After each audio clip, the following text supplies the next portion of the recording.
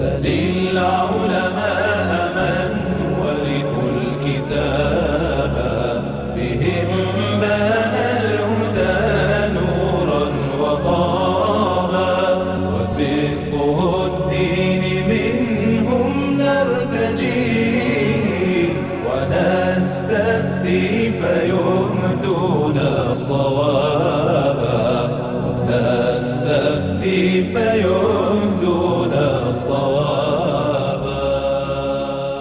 الحمد لله رب العالمين وصلاة وسلاما على النبي الأمين وآله وصحبه أجمعين. السلام عليكم ورحمة الله وبركاته. مرحبا بكم أحبتنا الكرام إلى حلقة جديدة من برنامج الإفتاء المباشر يستفتونك على قناة الرسالة الفضائية. أسعد بكم دائما وأسعد بضيفي فضيلة الشيخ الأستاذ الدكتور علي بن عبد العزيز الشبل. باسمكم وباسم فريق العمل نرحب بضيفنا. أهلا وسهلا بكم شيخ علي. وأنا كذلك أرحب بكم وأرحب بإخواني وأخواتي عبر هذا الأثير.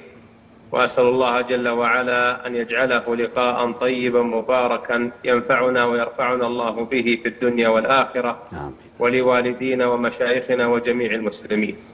اللهم آمين. مرحبا بكم وبأسئلتكم واستفساراتكم على الأرقام المتاحة على الشاشة. نبدأ باتصالات هذه الحلقة من السعودية. أم عبد الرحمن تفضلي. السلام عليكم ورحمة الله. وعليكم السلام ورحمة الله وبركاته. الله يجزاك خير يا أستاذ. فيصل. أنا في ما عندنا في القرية مكتب دعوي ومندوبية من ولد البنتي عمره 18 يعمل في مع المندوبية دي وقلت عطني معك مصحف قصدي يجيبه من المكتب. وأنا جانب الحكم وجابه لي وبعد فترة قلت أنت منين جيت بالمصحف لو إنه وقف. قال والله ما أدري ما أدري يا جدة. أنا جيت من المسجد حق الم... آه، الدعوي ده ولا جيت من مسجد في القريه هل ذا الحين أنا كنت جانب الحكم هل أشتري مصحفين؟ أحط واحد في المسجد حق المندوبية وواحد في مسجد القرية؟ ولا أجيب واحد تبرد المتي طيب طيب. فهمت الف- فهمت السؤال؟ طيب طيب. الله يبارك. وهو وقف ولو كنت جاهل يا- يا أستاذ. طيب طيب واضح, واضح. أبي الشيخ أجيب الله يجزاك خير. الله يبارك فيك. أم خالد من السعودية تفضل أم خالد. السلام عليكم. وعليكم السلام ورحمة الله. تفضلي. عندي سؤالين لو سمحت الأول. آه، السؤال الأول آه، أيما أفضل يعني آه، انتظار الصلاة؟ هل أكون على وضوء مثلا من صلاة العصر وأبقى على وضوء لصلاة المغرب والعشاء؟ أو الأفضل أني أجدد الوضوء عند كل صلاة أيهم أعظم أجر؟ طيب. السؤال الثاني في سورة الكهف قصة أصحاب الكهف آه، عندما قال الله سبحانه وتعالى فلا تماري فيهم إلا مراء ظاهرا ولا تستفتي فيهم منهم أحدا ما الحكمة من إخفاء قصة أصحاب الكهف؟ حتى لا يعلمها أحد يعني حتى الرسول صلى الله عليه وسلم أخفيت عنه. قصدك العدد يعني. آه، لا القصة يعني الله سبحانه وتعالى يعني أمر الرسول أنه ما يستفتي فيهم منهم أحد حتى قصة قصتهم غامضة يعني ما طيب. يعني ما هي معروفة يعني كثير حتى شرحها في ال- في واضح. طيب التفسير وكذا ما هي واضحة طيب شكرا جزاكم الله شكرا لك. أحمد من السعودية تفضل يا أحمد. أيوه السلام عليكم وعليكم السلام ورحمة الله وبركاته. أيوه تركت الصلاة تركت الصلاة هذا لأن لأن عندي وسواس في غسل الجنابة أقعد ساعتين وأنا بتكلم عن الجنابة طيب وت- وتركت الصلاة. أيوه تركت الصلاة لأن اقعد ساعتين وأنا بغسل من الجنابه أتعب ساعتين وأنا تحت وأنا وأنا تحت الدش وأنا اغسل أتعب. طيب طيب. شكرا. الله يبارك فيك. أم محمد من مصر تفضلي. السلام عليكم. وعليكم السلام ورحمة الله وبركاته. آه، من فضلك والله وا- آه، واحد توفى وعنده زوجتين. زوجة عندها أولاد وزوجة ما عندهاش أولاد. الزوجتين دول هيورثوا إيه من من الزوج؟ طيب طيب. شكرا. الله يبارك فيك. أم أنس من السعودية. السلام عليكم. وعليكم السلام ورحمة الله. أه، لو سمحت عندي سؤالين. هل أنا إذا كان بيني وبين أحد أه، خصومة؟ وبينت لهم أني أنا ما بيني وبينهم يعني شيء وأني لكني في نفسي لا أدعي عليهم أو هل علي شيء؟ طيب. إذا بينت لهم ذا وأخفيت العداوة. طيب. السؤال الثاني هل الصدقة تدفع البلاء والأذى؟ طيب. خاصة الطعام إطعام الطعام طيب. شكرا. الله يبارك فيك. عبد الله من السعودية تفضل. السلام عليكم. وعليكم السلام ورحمة الله. تفضل. لو سمحت عندي سؤال. تفضل. آه، بالنسبة لي آه، قطع الخط المعذرة. عبد الله من السعودية تفضل عبد الله. السلام عليكم ورحمة الله. وعليكم السلام ورحمة الله وبركاته. إذا سجد الإمام سجدة ثالثة. طيب. زيادة في الصلاة. وتأكد المأموم هل يسجد معه أو لا. طيب. ما حد نبه يعني؟ هم كانوا اثنين ما كان في عدد. آه. أي طيب طيب. تس- إمام ومأموم طيب تسمع الإجابة شكرا جزيلا للإخوة والأخوات جميعا.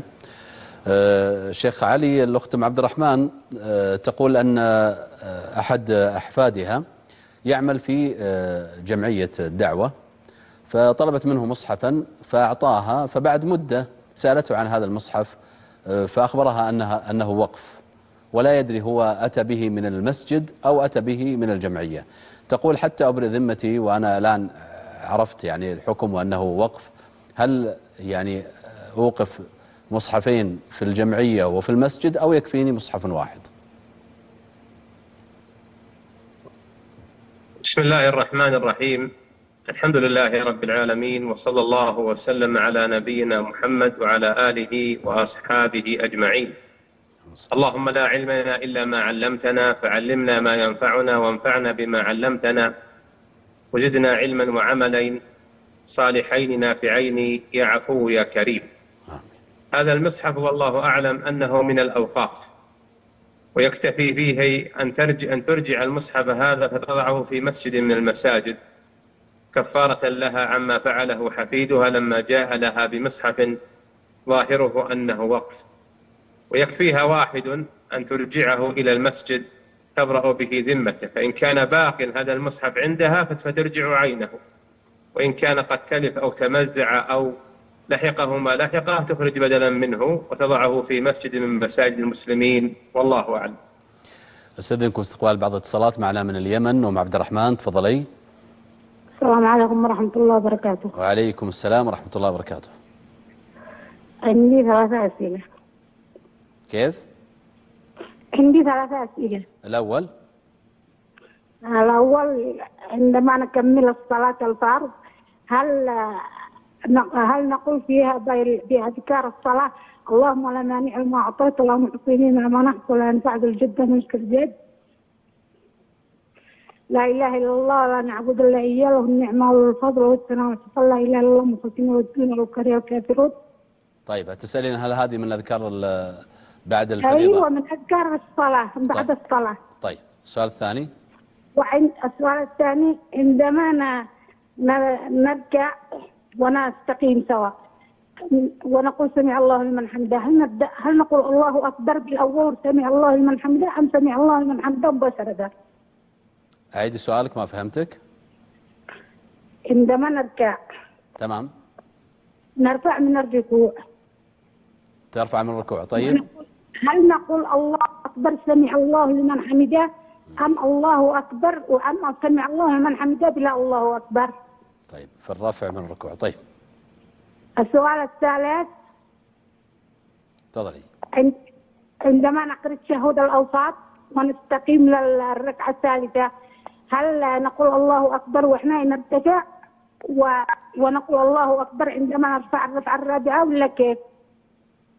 طيب طيب. يلا مع الله يبارك فيك شكرا لك. أحمد من السعودية تفضل يا أحمد.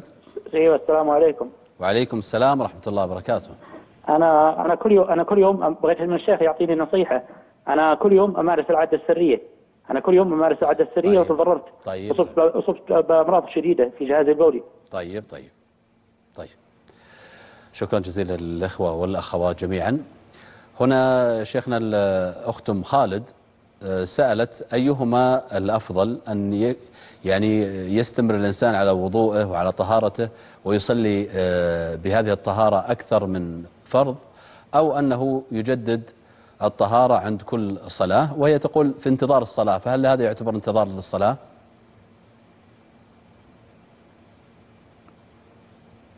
نعم يستحب لها تجديد الوضوء عند كل صلاة فإن في تجديد الوضوء نزول لهذه الذنوب وحط لصغائرها. وكذلك لو بقيت على وضوئها الأول وصلت به فإن صلاتها صحيحة ولا حرج عليها. لكني أخشى أن يكون هذا التجديد مدعاة للوسواس.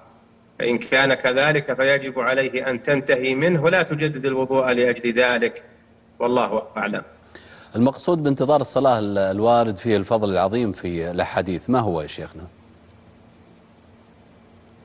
انتظار الصلاة للرجال في المساجد وللنساء في بيوتهن في مصلاها أو تتهيأ للصلاة. هذا من انتظار الصلاة لأداء الفرض بعد انتهائه من الفرض الأول. والله أعلم. آه، سألت أيضا آه، عن آه، سورة الكهف وما ورد فيها. فلا تماري فيه آه، فيه أحدا. آه، هل آه، هناك نهي عن فلا تماري فيهم إلا مراء ظاهرا ظاهرة ولا تستفتي فيهم منهم أحدا. تسأل تقول لماذا آه، هذه نعم. القصة آه، فيها النهي عن أن الإنسان يستفسر عنها؟ ليس في خبر أصحاب الكهف وهم الفتية الذين ملأ الله قلوبهم إيمانا ففارقوا أقوامهم لما كانوا على الكفر والشرك. وإنما نهي الله جل وعلا فلا تمار فيهم أحدا أي من أهل الكتاب الذين يمارونك ويجادلونك في عددهم وعدتهم. وإلا مراء ظاهرا أي ما أخبرناك عنه في هذا الكتاب وفي هذا الوحي كما ذكر ذلك ابن عباس رضي الله تعالى عنهما. وعموم أمور الغيب. ينهى الله نبيه أن يتكلم فيها إلا بعلم والنهي موصول إلى المؤمنين. لا تقف ما ليس لك به علم إن السمع والبصر والفؤاد كل أولئك كان عنه مسؤولا. الله أعلم. آه، الأخ أحمد شيخنا يقول أنا مصاب بالوسوسة وخصوصا في غسل الجنابة حتى وصل بي الأمر إلى ترك الصلاة. فهل من توجيه؟ هذا مرض ويجب أن تنتبه له يا أخي وتعالج نفسك منه وترك الصلاة كفر.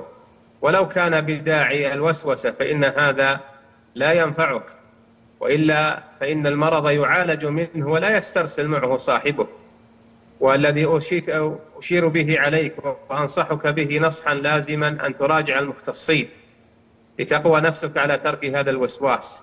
وألا تترك العبادة والطاعة لأجل هذه الوساوس فتكون مستسلما للشيطان الذي يريد منك أن تترك دين الله وتخرج منه بالكلية. عافاك الله وعافى الله جميع المسلمين والمسلمات والله أعلم. نستأذنكم استقبال بعض الاتصالات معنا أم محمد من اليمن. تفضلي. السلام عليكم. وعليكم السلام ورحمة الله وبركاته. آه، فضيلة الشيخ ما صحة حديث الهدى التي يقال أنها تحدث ستحدث في رمضان. وفي كل رمضان يكثر الحديث عنها. وهناك بعض الع- العلماء أنكروها وبعض العلماء قالوا إنها صحيحة وخصوصا كعب كعب الأحبار فهل هذا الحديث صحيح أو موضوع؟ جزاكم الله خير. حديث, حديث ماذا؟ حديث الهدى في التي تحدث في رمضان. طيب. حديث الهدى التي في رمضان. الهدة كذا؟ أيوه حديث الهدى الذي قالوا إنها تحدث في بتحدث في رمضان. طيب طيب. شكرا شكراً. شكرا. أم تركي من السعودية تفضل أم تركي. السلام عليكم. وعليكم السلام ورحمة الله جزاك- وبركاته. جزاك الله خير. آه، في. حرمة استطعت آه، يعني شهرين شهرين استطعت ولا درت حكم نفس وهي جاهلة بالحكم. لا صلت ولا تقول حكم نفس. آه، حكم النفاس هذه. ولا صلت ولا شيء. هل علىها وهي جاهلة بالحكم؟ ولا تدري كم الأيام يا أستاذ الله يجزاك خير ما أدري. ما تدري كم الأيام. وهي ما جاهلة بالحكم انها إنها إسقاط. هذا دم فاسد ما بعد كمله يعني, يعني. يعني. يعني إنها بعد ما أسقطت استمرت 40 يوم ما ما صلت. 40 لا حتى طهرت. لكن لا ت- تقول ما بعرفها حكمه ما بحكم آه، الجنين اللي يجيب إحكام طيب. طيب طيب آه، هل عليها الصلاة؟ ما تدري كم يوم. هل عليها تعيد الصلاة؟ وهي جاهلة بالحكم وهو ما كان واضح. 82 ما كان في 60 يوم. واضح. جاهلة بالحكم يوم فهمت الحكم. ما واضح. تدري كم الأيام. هل تسلم له ما يجزاك خير. واضح واضح. طيب. ما يجزاك شكرا لك. شكرا جزيلا للإخوة والأخوات جميعا. هنا الأخت أم محمد من مصر تقول آه، توفي آه، شخص وعنده زوجتان فما نصيب كل زوجة علما بأن إحداهما آه، لها أولاد والأخرى لم تنجب. وجود الأولاد لإحدى الزوجتين لا يمنع من ميراث الزوجة الثانية والزوجتان تشتركان في الثمن. لأن المتوفى له أولاد. فنصف الثمن للزوجة الأولى والنصف الثاني للثمن نصف الثمن الثاني للزوجة الثانية. ووجود الأولاد عند إحداهما لا يمنع الثانية من الميراث وإنما الأولاد يرثون بحسب نصيبهم للذكر مثل حظ الأنثيين. والله أعلم. هنا الأخت أنس سألت عن أنها بينها وبين بعض الناس خصومة. فأمامهم كأنها يعني آه، تتسامح معهم أو تلاطفهم ولكن تقول في نفسي أني لم يعني آه، أسامحهم وأخفي آه، العداوة وأدعو عليهم. أما ما يتعلق بالمجاملة بإظهار حسن التعامل معهم والبشاشة فهذا مما تؤجر عليه. لكن لا يكون هذا إظهارا لها إظهارا لهم بخلاف ما تبطن لهم من البغض والكراهية. فهذا لا يجوز لكن المؤمن آه، يعفو ويصفح وأيضا آه، لا يجامل على حساب دين. هذه من هذه مسألة. وكونها لم تسمح في قلبها فالأمر لها. إذا كان الحق لها بأن ظلموها فإن الحق لها. إن شاءت تنازلت ولها الأجر وعفت ولها الرفعة والعفو وإلا فالحق لها تستوفيه إن كانت في الدنيا أو في الآخرة. وأوصيها بالعفو فإن الله ما زاد عبدا بعفو إلا رفعة وعزا. والله أعلم. سألت عن الصدقة وخصوصا إطعام الطعام هل هي تدفع الأذى وتدفع كذلك البلاء؟ نعم. الصدقة عموما بأنواعها الصدقة الجارية أو الصدقة المطلقة. من فضائلها أنها تطفئ غضب الرب كما جاء بذلك الحديث حديث أبي أمامة الباهلي رضي الله عنه عند الإمام أحمد وغيره. قال قال النبي صلى الله عليه وسلم صنائع المعروف تقي مصارع السوء وهذا من البلاء والصدقة تطفئ غضب الرب. خرجه الإمام أحمد بإسناد جيد. وروى أبو يعلى وغيره عن علي رضي الله عنه يرفعه إلى النبي صلى الله عليه وسلم أنه قال باكروا بالصدقة فإنها لا تغادر آه، البلايا.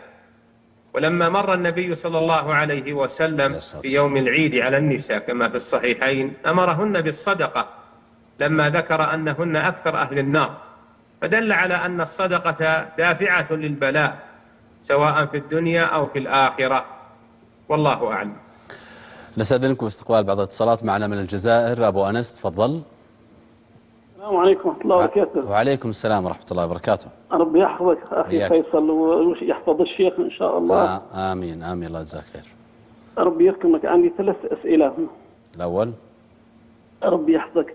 آه، هناك الناس يدخلون مع الإمام وهو راكع. طيب. في- فيكبرون تكبيرة واحدة. اسمها تكبيرة الإحرام.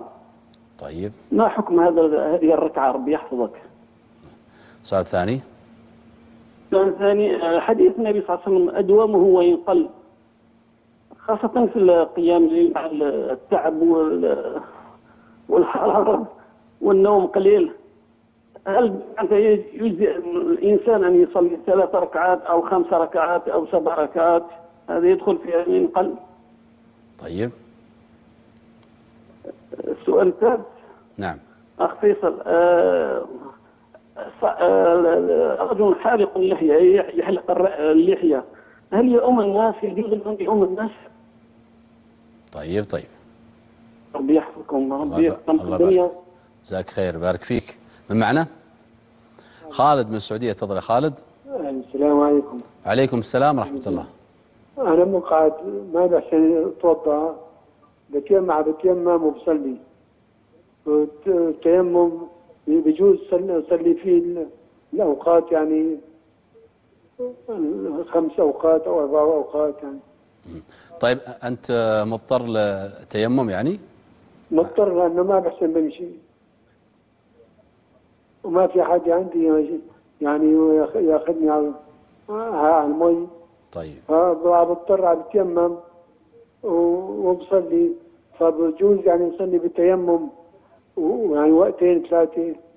طيب طيب. ماشي الله يعطيك الله العافية. يبارك فيك شكرا. أبو يوسف من فرنسا تفضل أبو يوسف. السلام عليكم ورحمة الله وبركاته يا شيخ. وعليكم السلام ورحمة الله وبركاته.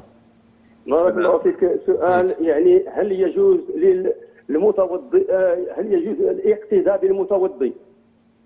نعم هذا كان لم يكن من يخلفه فالمعنى هذا هل يجوز آه، الاقتداء بالمتوضئ؟ وسؤال آخر بارك الله فيكم. كيف كيف هل يجوز؟ كيف الاقتداء بالمتوضي؟ معليش أبو يوسف كيف الاقتداء في نعم. الصلاة يعني؟ نعم الاقتداء نعم نعم صلاة صلاة الاقت- الاقتداء بالمتوضئ آه، بالمتيمم آه، في في الصلاة نعم. المتيمم. وأيضا هل هل يجوز الاقتداء بالجالس؟ ولو كان فئة من الرجال لا يستطيعون الإمامة هل هذا نقدمه ولو كان جالسا؟ أو حين يكون فئة من النساء هل يجوز أيضا الاقتداء بالجالس؟ طيب. في في الصلاة طبعا. طيب طيب. طيب الله يبارك. بارك الله فيكم وجزاكم. الله خير. الله يبارك فيك. أم مشعل من السعودية تفضلي. السلام عليكم. وعليكم السلام ورحمة الله. بالله لو سمحت بسأل فضيلة الشيخ عن صحة هذا الحديث. من قرأ قل هو الله أحد في اليوم عشر مرات بني له بيتا في الجنة قصرا قصرا في الجنة. طيب طيب. ألف شكر. الله يبارك فيك. شكرا جزيلا للإخوة والأخوات جميعا. هنا شيخنا الأخ عبد الله آه، سأل عن آه، شخص اتم بشخص آخر. فصلى به وسجد ثلاث سجدات. فيقول هل يعني يتابع في السجدة الثالثة وهو متأكد أنها زائدة؟ إذا سجد الإمام ثلاث سجدات وقد أشر بيده للمأمومين أن يتابعوه فيها فيجب أن يتابعه. أما إذا لم يؤشر لهم فإن السجدة الثالثة باطلة لا يوافقه عليها المأموم. فإن المأموم لا يوافق الإمام على شيء زائد في الصلاة وهو يعلم ذلك ما لم ينبههم الإمام بيده أو بإشارته إلى أن يفعلوها معهم والله أعلم. هنا الأخ أو الأخت عبد الرحمن آه، تقول بعد الفرض آه، سألت عن بعض الأذكار التي بعد آه، الفريضة. اللهم لا مانع لما أعطيت ولا معطي لما منعت. ولا ينفع ذا الجد منك الجد لا إله إلا الله مخلصين له الدين ولو كره الكافرون. هل هذه واردة من أذكار ما بعد الصلاة؟ نعم هذا الذكر الذي ذكرته وارد عقب صلوات الفرائض. اللهم لا مانع لما أعطيت ولا معطي لما منعت ولا ينفع ذا الجد منك الجد. والأذكار عقب الصلوات مبثوثة ومشهورة في كتب الأذكار الصحيحة وكتب صفة صلاة النبي صلى الله عليه وسلم.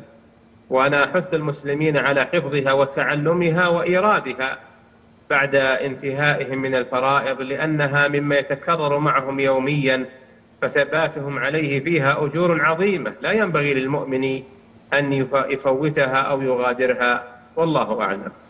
سألت في الرفع من الركوع هل هو الذكر سمع الله لمن حمد ربنا ولك الحمد فقط بدون تكبير أو هناك تكبير أيضا؟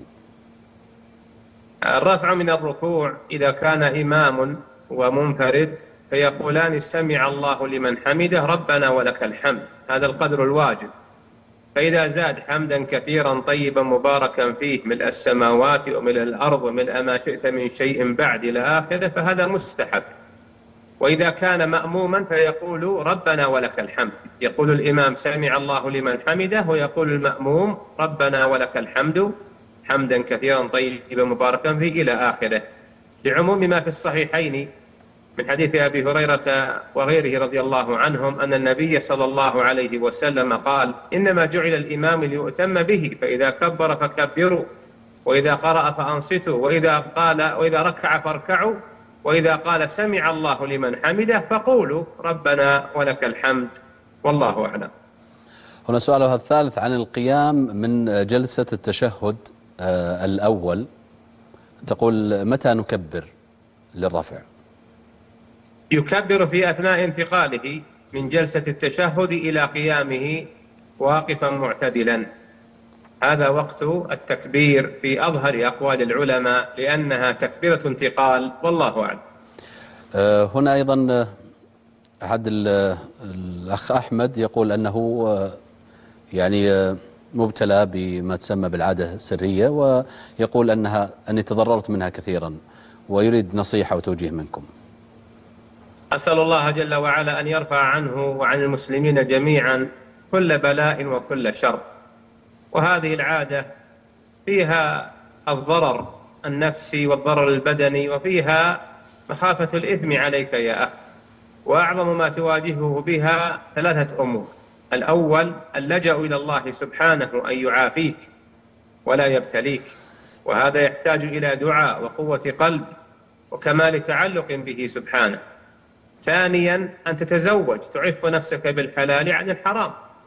ثالثا أن تراجع المختصين لأن هذا الأمر له مرد نفسي وله عواقب وأعباء نفسية فالمختصون يساعدونك في تخطي ذلك وهذا من طلب العلاج والله أعلم.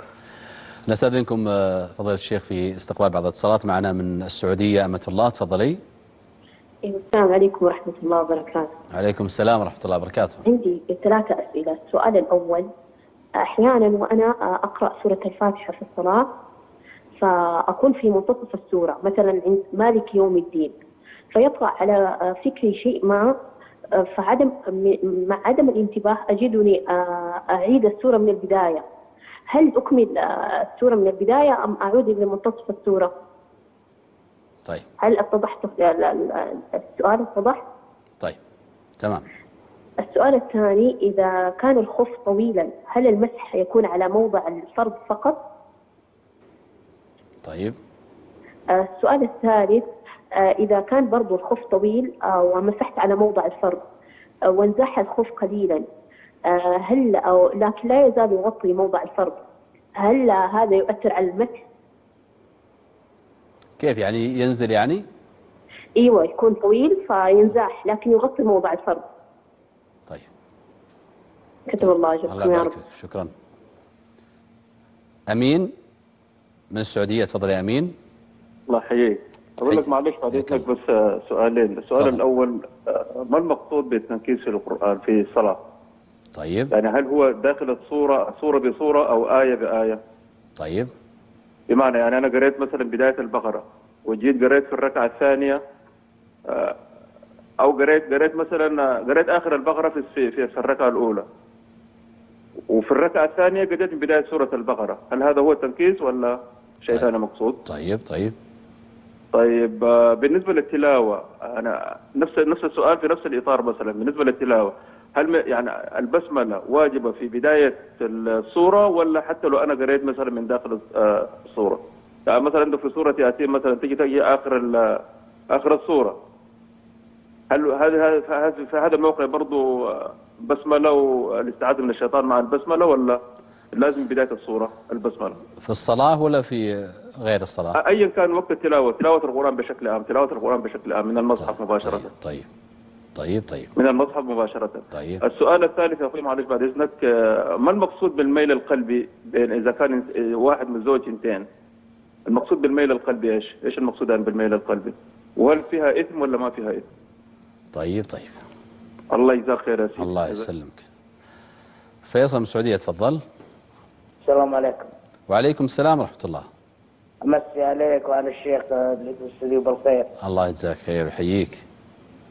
آه عندي سؤال عندي سؤالين لو تكرمتوا. الأول؟ آه الأول آه إحنا شو اسمه ذا آه، سنويا آه نصيف آه، الجنوب آه شهرين. هل يجوز لنا في طول الشهرين هذه نجمع ونقصر؟ طيب. ان عندنا بيت و شو اسمه ومستقرين طيب. سؤال هذا ثاني. السؤال الأول. السؤال الثاني آه، شو اسمه آه، آه، هل عندي مخالفات مرورية؟ طيب. وأحاول في الوالد طبعا التي أحسن واللطف هذا إنه يسددها عني ورافض وتضررت بسبب هذا شوي في الحسابات البنكية جمدوها علي. مخالفات عليك تبغاه يسدد؟ أيوه. طيب تسمع الإجابة إن شاء الله. أمة الله من السعودية تفضلي أمة الله. السلام عليكم ورحمة الله وبركاته. وعليكم السلام ورحمة الله وبركاته. معلش عندي استفسار يا شيخ. يقول الناس يوم القيامة سبحان الله يكونون في درجات حسب أعمالهم. وربي سبحانه وتعالى جعل كل إنسان راضي بما هو فيه. من نعيم لا غل ولا حسد. بل راضين تمام الرضا. الوضع هذا ما يجعل بعضنا يرضى بأقل الأعمال الصالحة ولا ينافس غيره؟ طيب طيب. جزاك الله خير. الله يبارك فيك. شكرا جزيلا للإخوة والأخوات جميعا. شيخنا ال- آه، أخت تركي تقول امرأة سقطت آه، في شهرين فتقول أنها عاملت هذا آه، يعني معاملة النفاس ولم تكن تعلم فالآن تقول ماذا علي؟ في الأيام التي لم أصليها ولم أكن أعلم الحكم وقتها. الإسقاط في شهرين لا يجعل هذا الدم النازل في حكم دم النفاس وإنما هو دم نزيف واستحاضة والواجب عليها الصلاة خلال هذه المدة التي اعتبرتها نفاس. وكونها لا لم تعلم بذلك وكانت جاهلة يرفع عنها الإثم وعليها أن تقضي الأيام التي لم تصلي بها حال وجود هذا النزيف وهذه الاستحاضة بنزول هذا الدم. وها هنا تنبيه لأخواتنا أنه لا يعد النفاس إلا ما جاوز التسعين يوما حيث تخلق الجنين فبدا وجهه وبدا يداه بدت يداه ورجلاه. فإذا تم أربعة أشهر فهذا نفاس إذا أجهضته بكل حال والله أعلم. الأخ أبو أنس من الجزائر يقول من يدخلون مع الإمام وهو راكع البعض منهم يكبر تكبيرة واحدة تكبيرة الإحرام فهل تكفيهم؟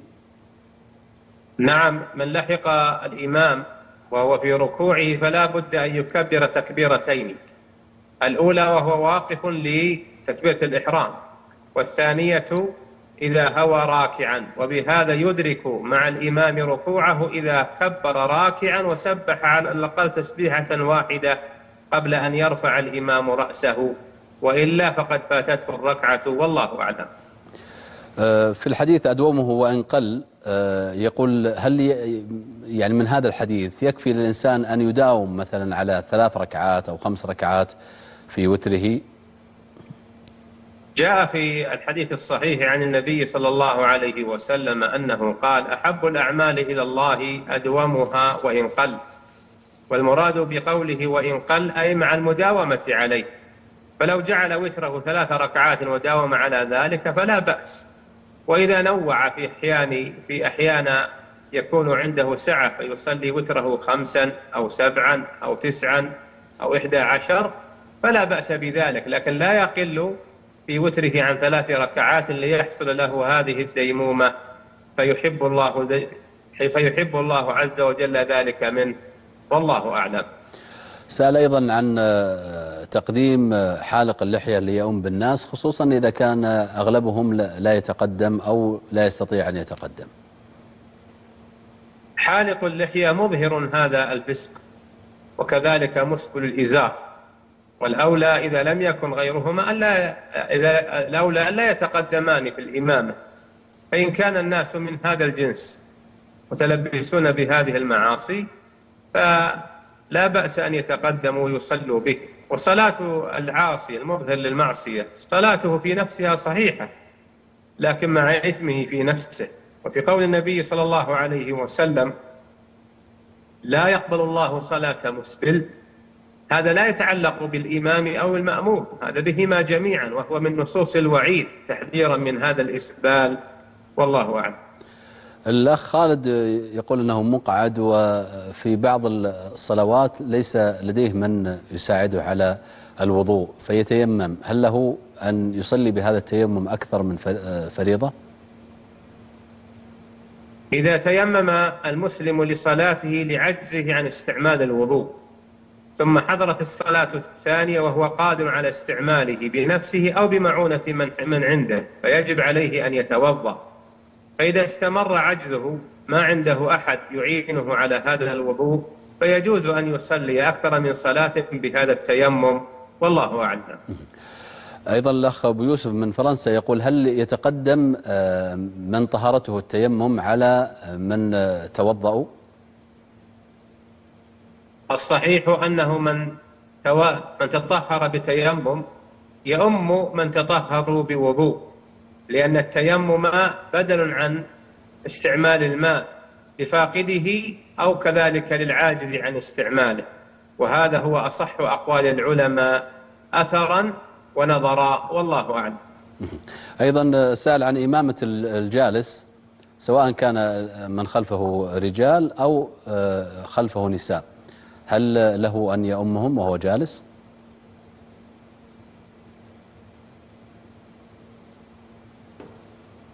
إذا كان الإمام إماما راتبا وصلى بالناس جالسا لعذر صحت صلاة المأمومين من ورائه رجالا ونساء وهم قائمون. أما إذا كان الإمام غير راتب فالأولى ألا يتقدم فيصلي بالناس. فإن تقدم وصلى بالناس والحالة هذه فصلاتهم صحيحة ويصلون وراءه قياما لا جلوسا حيث استقر به الأمر. في آخر عهد النبي صلى الله عليه وسلم على ذلك. صلى بالناس جالسا وأتم به أبو بكر وهو واقف والناس يأتمون بأبي بكر وهو واقف. والله أعلم.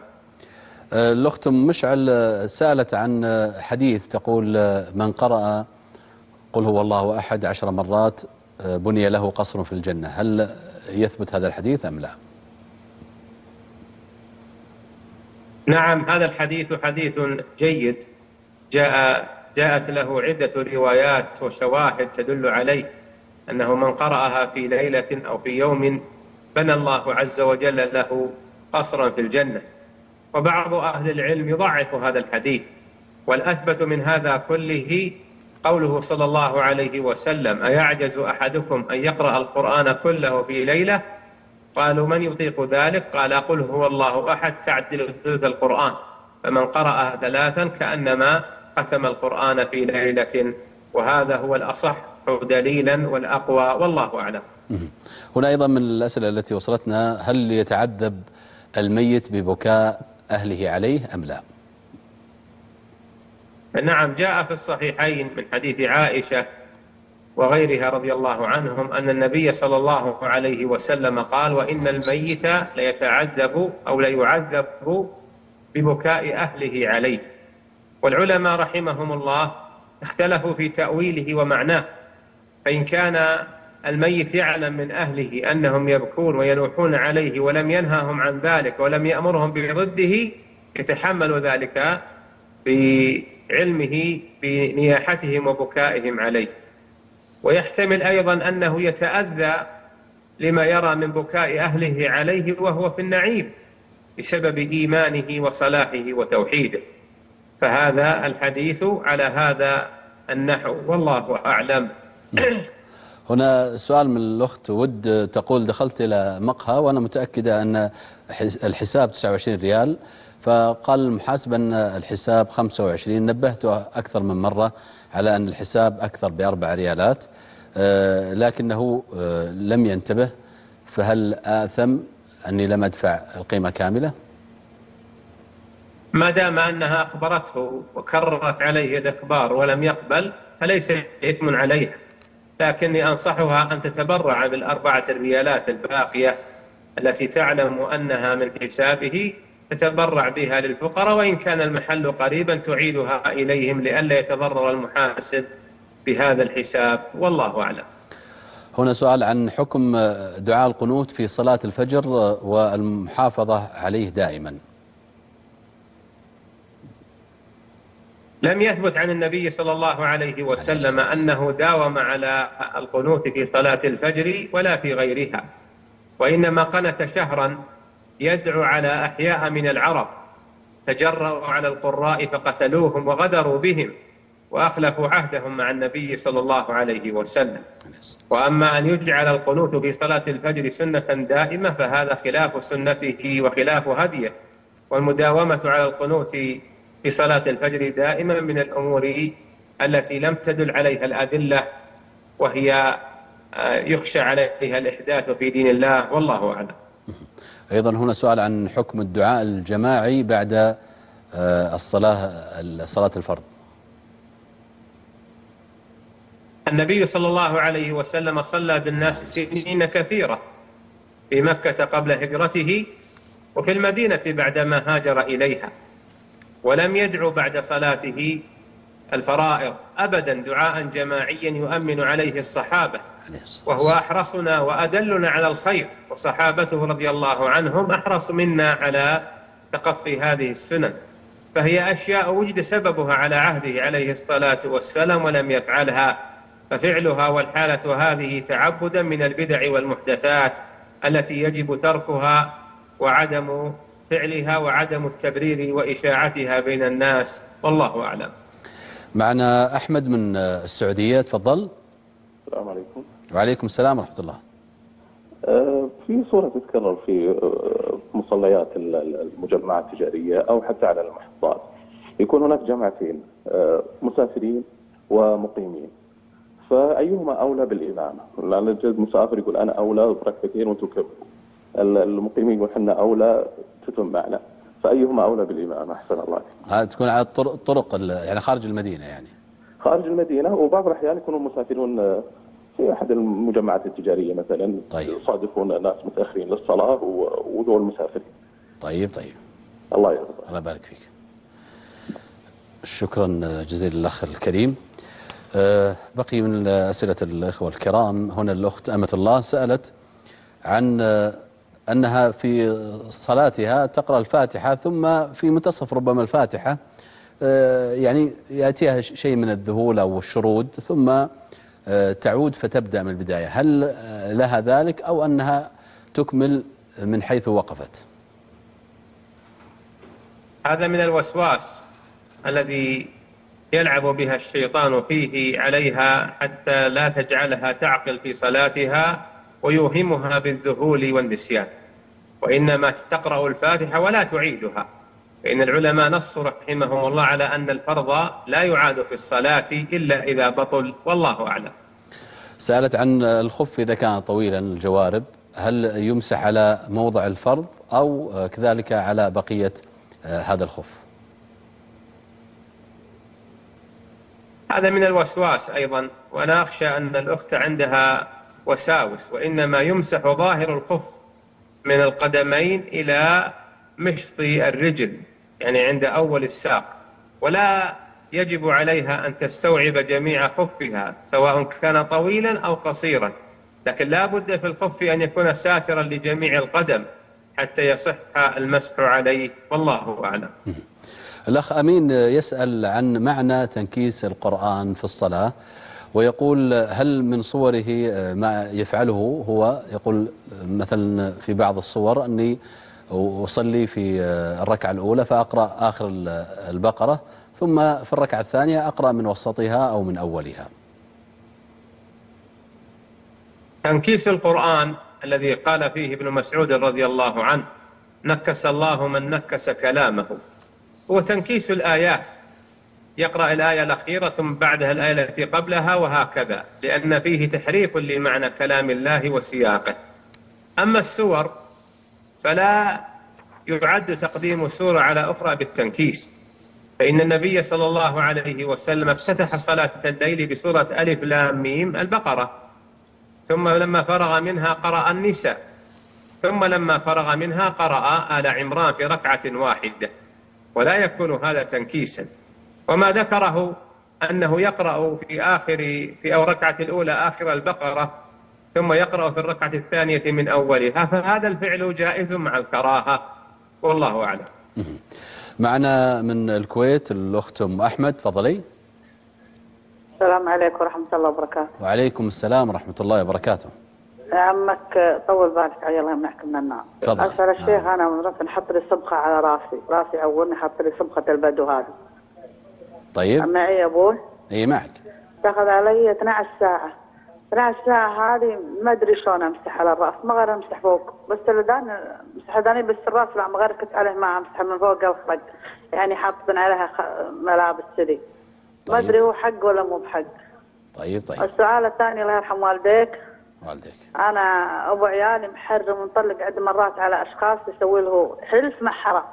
يسوي له كرامه كرامية يعني عليه ثلاث حلوف الشايب الله يرحمه الحين فاقدين الوعي ولا أدري أنا اتبحن عنه من النعاشة ما أدري اتبحن من عندي أنا ما أدري أحط لهم صدقة ما أدري أسويهن عن حلفة حرامة.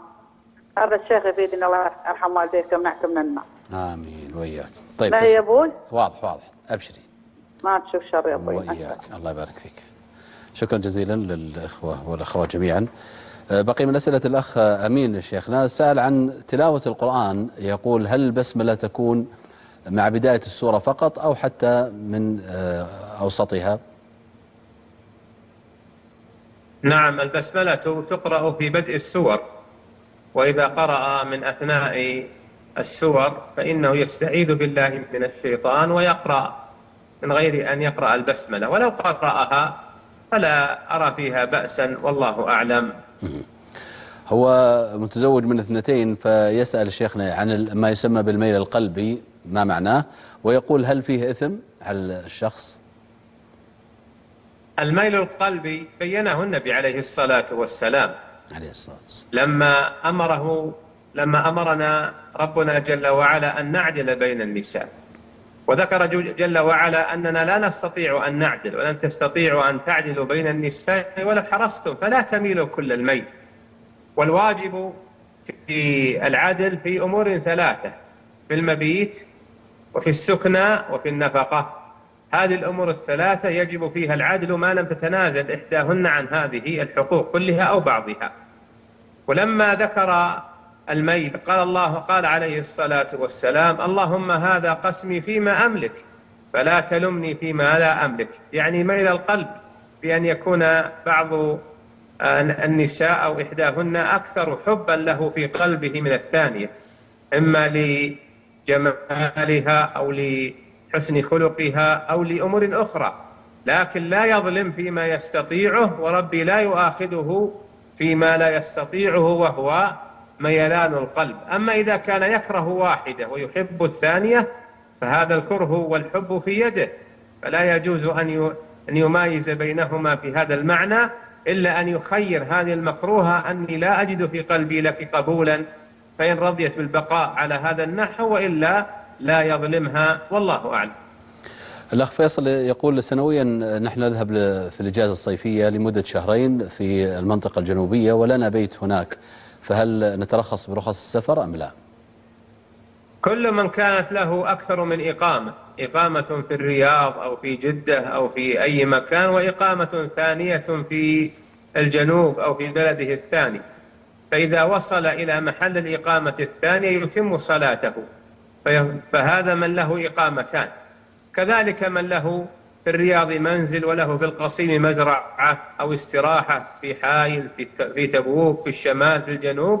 إذا وصل إلى مزرعته أو استراحته أو مقار إقامته الثاني يتم صلاته ولا يقصر فيها ويكون الجمع والقصر بين المدينتين وبين هذين المحلين للإقامتين والله أعلم. أه، معنا الأخ محمد من فرنسا تفضل. السلام عليكم يا شيخ كيف الحال؟ وعليكم السلام ورحمة الله وبركاته. حياك الله. بارك الله فيك. أريد سؤال بارك الله فيك أن بالنسبة لي أكرمكم الله بالنسبة لي الماني حينما يصب في الم- في الملابس الداخلية هل هو ناجس؟ يعني أقول قطرة أو قطرتين وربما آه، تخرج هكذا وربما مرض وربما آه، يعني في تفكير أو كذا هل هو ناجس؟ فلا بد أن يغسل أو يكرس بر- فقط. بارك الله فيكم. شكرا. قصدك الم- المذي ها؟ آه، المدي آه، الماني الماني الماني. اليوم وربما الماني أقول الماني لأن ب- بيض. حينما يوصف في في في الملابس الداخلية هو أبيض. طيب طيب. شكرا. بارك الله فيك. الله يبارك فيك. معنا بشار من عمان تفضل. السلام عليكم وعليكم السلام ورحمة الله. حياك الله شيخ كيف الحال؟ الله يحييك مرحبا بك تفضل. آه لو سمحت عندنا نحن شغالة مسيحية. طيب.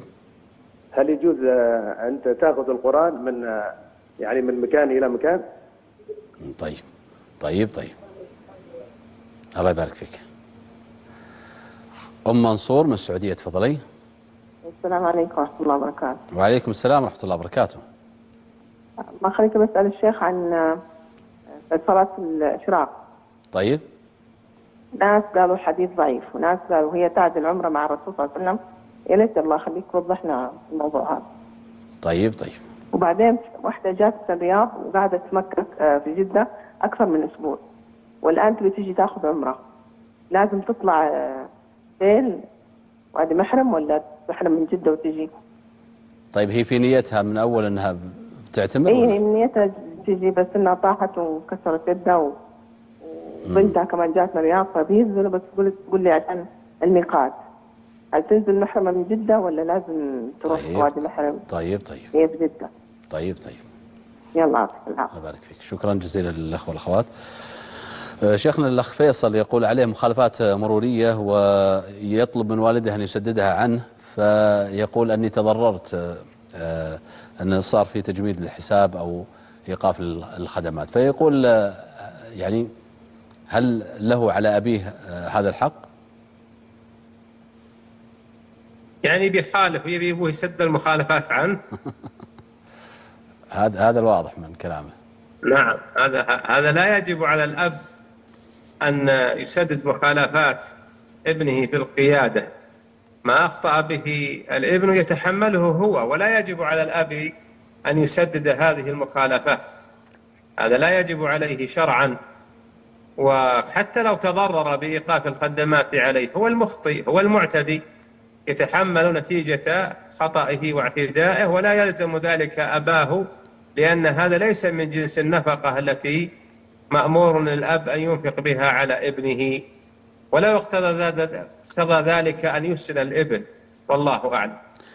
أمة الله من السعودية تقول أن في الجنة أن الله جعل لنا تلك الجنان آه، نكون في درجات فكون آه، أن أهل الجنة لا يتحاسدون وليس بينهم غل فهل يرضى الإنسان بالدرجة الأقل في الجنة؟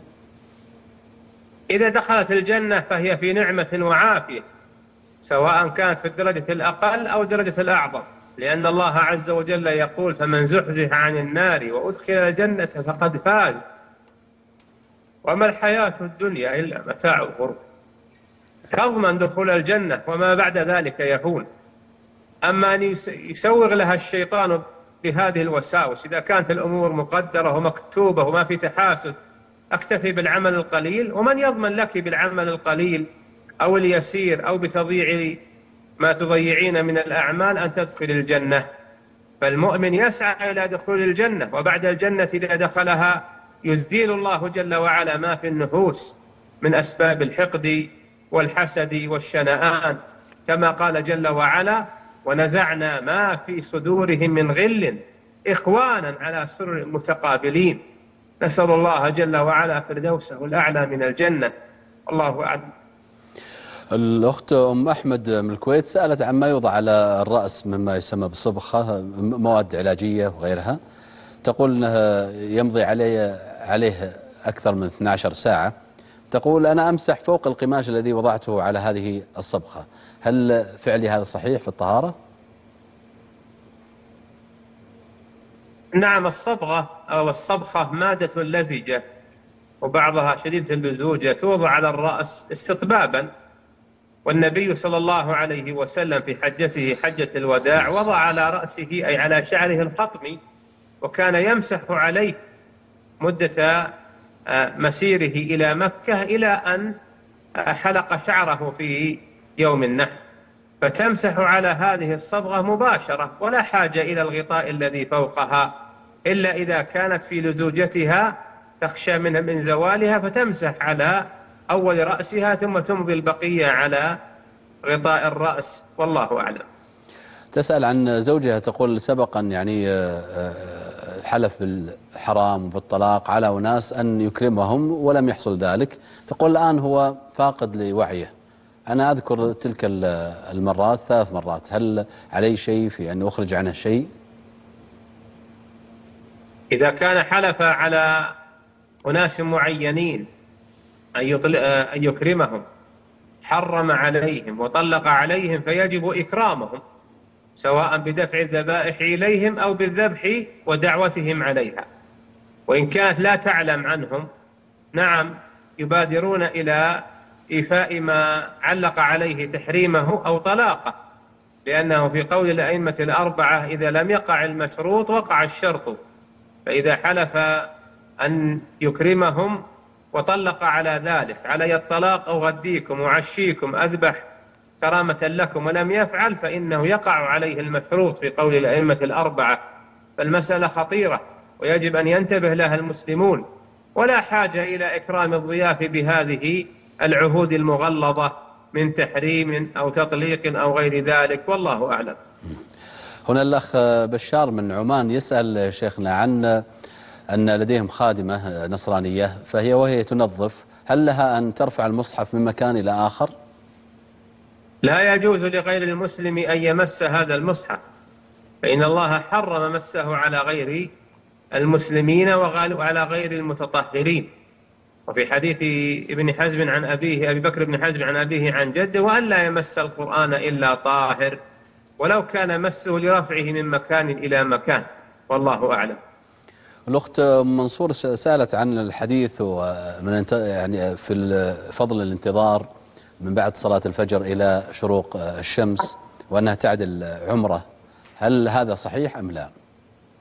هذا حديث أبي أمامة الباهلي سدي بن عجلان رضي الله عنه أن النبي صلى الله عليه وسلم قال من صلى الفجر ثم قعد في مصلاه يذكر الله تعالى. حتى تطلع الشمس فيصلي ركعتين كان له أجر عمرة تامة تامة تامة.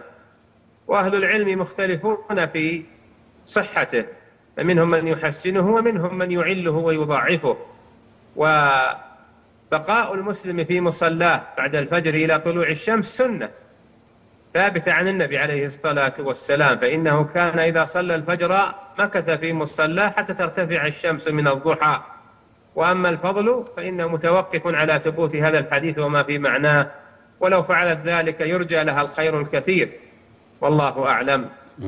سألت عن امرأة قدمت إلى جدة وهي في نيتها أن تعتمر فتأخرت في جدة أسبوع تقريبا.